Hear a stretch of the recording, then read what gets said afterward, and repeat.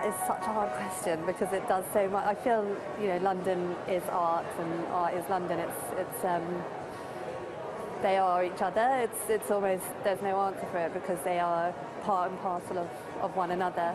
I think it's one of the greatest cities in the world as, in terms of, of art, seeing it, making it.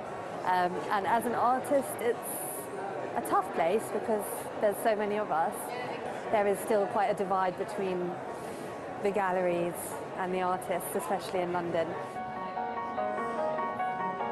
Uh, what does art do for London? Um, I mean, many things. I mean, it, it, it, it brings people into London, I guess. Uh, it stimulates creativity. Um, it's just incredibly important.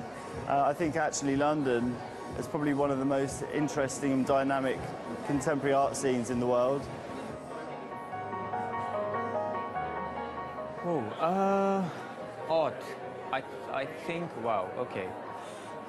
Mm, I think in a lot of ways it keeps London a very energetic place, um, culturally, socially, um, because art sort of is a, is a hub in a lot of ways. I think everyone's got a creative side to them.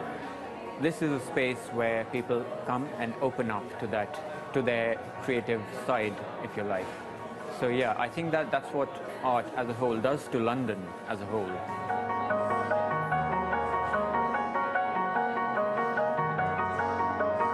It makes London a lot more tolerant, um, and I think it's, it's, it's, it propels London forward as well, forward thinking, because um, through art, uh, it feeds into society, it enriches society as well. It, you know, I can't imagine a society where, where there's no art, where there's no influence. Um, everything that I can think of, like um, from, from industry to, to marketing to trends to fashion, you know, art has a huge, huge influence. So, um, yeah, I think it's, it's in the core fabric of London. So.